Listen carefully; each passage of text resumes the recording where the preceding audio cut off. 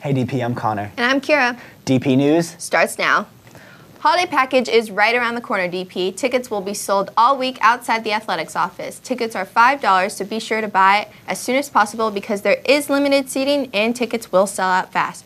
You don't want to miss all the hilarious sketches, singing, improving, and of course, the male ballet. Speaking of the holidays, because it's the season of giving, we are having our annual can, toy, and penny drives. You can donate cans or non perishable items, or toys, puzzles, and games that will go directly to the Unity Shop.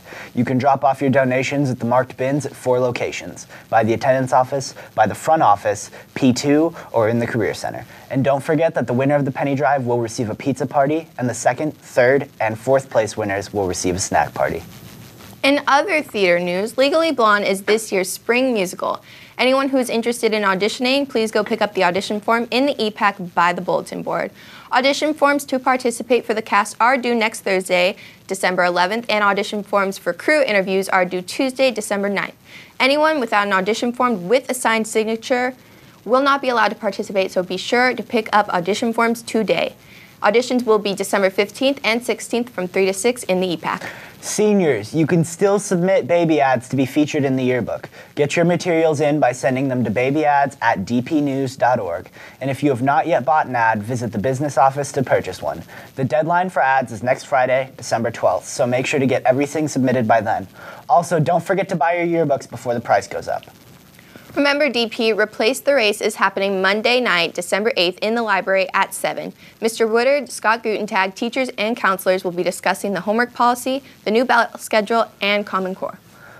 Also on Monday is Singletrack High an entertaining and inspirational film that focuses on six mountain bike riders of various skill levels and backgrounds. This film will be shown in the EPAC at 7 p.m. and is free for students.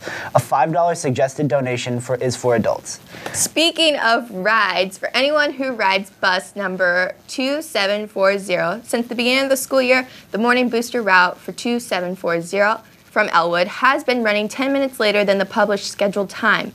But beginning on Monday, the bus will now operate on the published schedule time, which means it will be running 10 minutes earlier than it has been for the past three months. So be sure to get there on time if you want the ride. This Sunday, December 7th, the DP Jazz Combo will be the special guest at the Santa Barbara Jazz Society's monthly jazz party at Soho from 1 p.m. to 4 p.m. The combo will be performing at 145, and the entire DP Jazz program will be presented with a $1,000 scholarship. Be sure to go support our fellow DP Jazz combo this Sunday at Soho. Also, next Tuesday, December 9th, is the annual winter concert featuring orchestra, advanced jazz, intermediate jazz, and DP's new freshman jazz, comprised of students from the freshman seminar music class.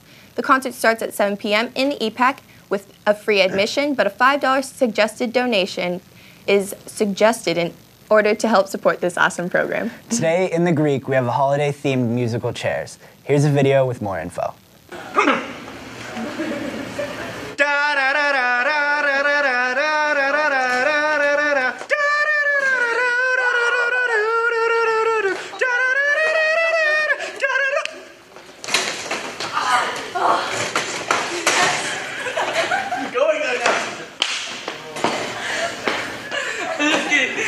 Okay, guys, come to the.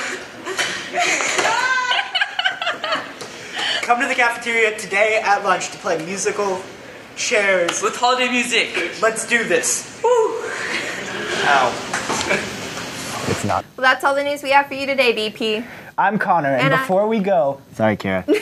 before we go, I would like to wish a very happy birthday to our producer, the woman who is on a paper thin edge with me right now. I think she's gonna punch me in the face when this cast is over. Honestly, I don't know how she puts up with either of us. Last week, I talked to her for 15 minutes about fudge. She still listens to me talk about my bear app. Happy birthday to Mason Rosenly. Now over to Ashley with sports.